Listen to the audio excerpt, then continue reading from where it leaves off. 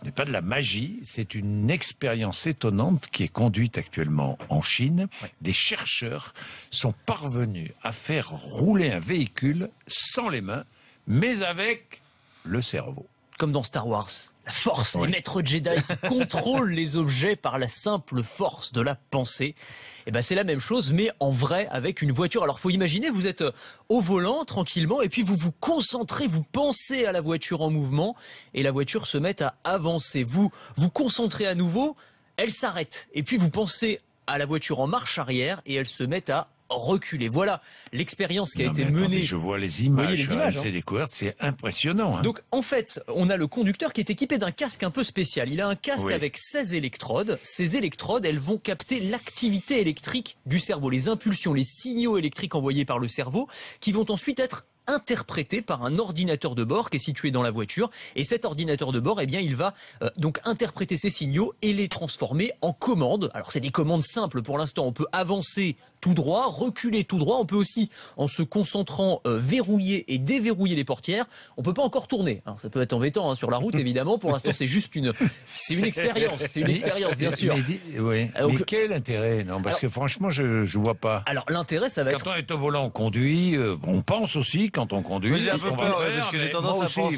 c'est là Ouais, tourne. être Ah ah, là que je puis, ah, euh, non. faut pas oui, écouter non. RMC en même temps quoi Ouais, parce que non, là, non, ça, je- ça va là, être je- compliqué je- Non, mais je là- vois pas l'intérêt. Alors l'intérêt, en tout cas, là. Ça a été réfléchi pour euh, les personnes handicapées, pour ceux qui ont perdu Oui, l'usage oui, de leurs bras, vrai. de leurs Oui. jambes, voilà. Et là, ça leur donne un espoir. D'autant que si on est capable de piloter un objet aussi complexe et aussi Mm. lourd qu'une voiture, on peut aussi piloter des objets plus simples, plus maniables. Par exemple, il y a une start-up française qui s'appelle Neuromove qui travaille sur un fauteuil électrique pour les personnes handicapées On a vu ça, qui va vrai, être génial. voilà, Ça, piloté génial, par la ça. pensée. Donc, et c'est plus simple évidemment à, à- à piloter. Et alors là, en se concentrant, on va pouvoir faire avancer, reculer aussi le, le, le- le fauteuil. Donc, euh, donc voilà, il y a plein d'applications potentielles pour ces euh, pour ces technologies pilotées par la puissance du cerveau.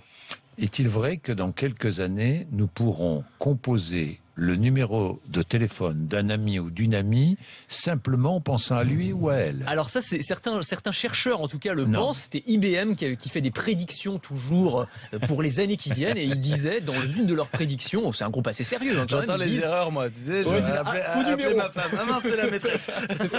Et en se concentrant et donc en pensant au Oui, numéro, pourra appeler. on pourra appeler Et puis en Grande-Bretagne, la BBC teste des télés contrôlées par la pensée. Alors- plus besoin de télécommande, mais enfin. La télécommande cachée sous le canapé, oui, c'est oui, pas grave, ah je me concentre, hop, je passe sur RMC découverte, pas de problème. Alors ils sont en train de tester ça, donc là c'est même même chose, il faut avoir un petit casque sur la tête et donc on se concentre et on voit les différentes chaînes qui défilent. Et quand on pense à une chaîne en particulier, eh bien euh, la chaîne va s'afficher à l'écran. Il y a plein d'applications comme ça. Il y a aussi des jouets. Moi j'avais testé par exemple sur un salon euh, il y a pas très longtemps un petit hélicoptère, un petit drone hélicoptère qu'on pouvait faire décoller et atterrir en se concentrant. Ça j'avais testé.